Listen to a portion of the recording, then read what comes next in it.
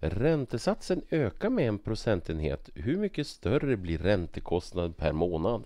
Och här skulle man kunna räkna ut hur stor räntekostnaden blir per år och sen dela med 12 för att se hur stor den nya räntekostnaden blir per månad och så sen jämföra de här åt.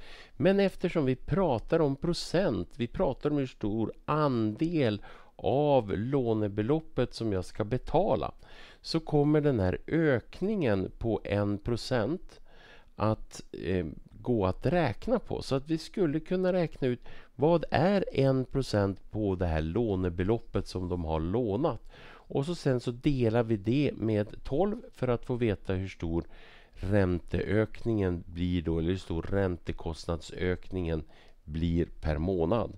Så jag tittar på eh, kostnaden för ränteökningen.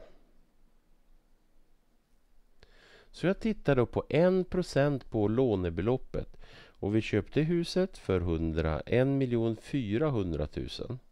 Och så lånade man till 85% och det var ju 0,85.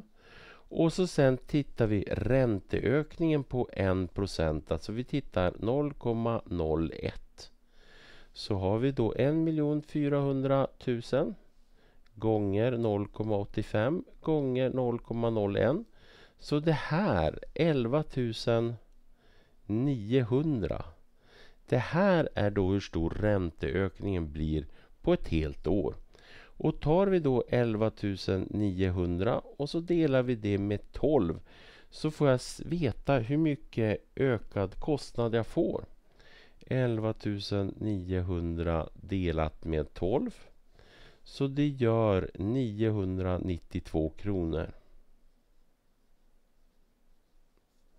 Så svar. Räntekostnaden.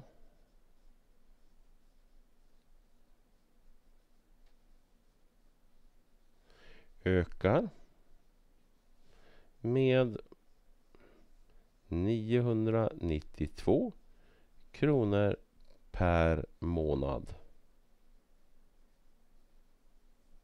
Sådär.